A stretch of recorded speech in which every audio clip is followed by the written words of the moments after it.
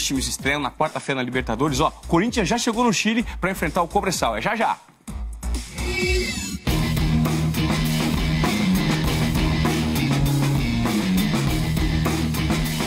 Amanhã tem a estreia do Corinthians na Libertadores contra o Cobressal do Chile, jogo que se vê ao vivo aqui na tela da Globo.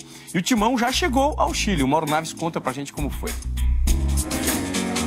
O Corinthians chegou ao hotel em Santiago exatamente às 10 da noite, hora local, 11 no horário oficial de Brasília. Depois de uma viagem tranquila de 4 horas de São Paulo para cá, todo mundo estava com a cara boa. Mas por dentro de cada um batia uma ansiedade alta pela estreia na Libertadores, principalmente daqueles que estão chegando agora ao clube. É um sonho né, de, de criança e tenho essa oportunidade de fazer páginas é, interessantes. Será a primeira vez na história que o Corinthians irá enfrentar o chileno Cobressal, pouco conhecido pelos brasileiros. Ainda assim, os mais experientes e vencedores sabem que o caminho do sucesso exige boas apresentações fora de casa.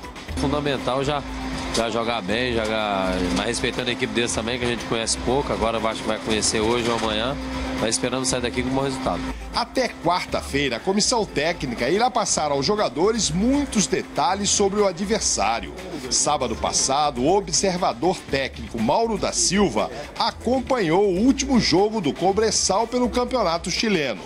Ah, é um time que tem uma característica muito forte no seu conjunto, um time que marca muito. E o problema do, do, é, é, do gramado. A gente está acostumado com uma grama no Brasil e a gente vai encontrar um gramado com muita dificuldade para uma equipe que é de toque de bola do Corinthians duro, um chão duro. É, um chão duro. E a altitude também. Assim que os jogadores entraram no hotel, jantaram e foram descansar. O técnico Tite não. Ele se reuniu com a comissão técnica, muito provavelmente para ouvir dela uma opinião sobre uma mudança que o técnico vem alimentando aos poucos. A entrada de Giovanni Augusto no time titular. Quem sairia nesse caso?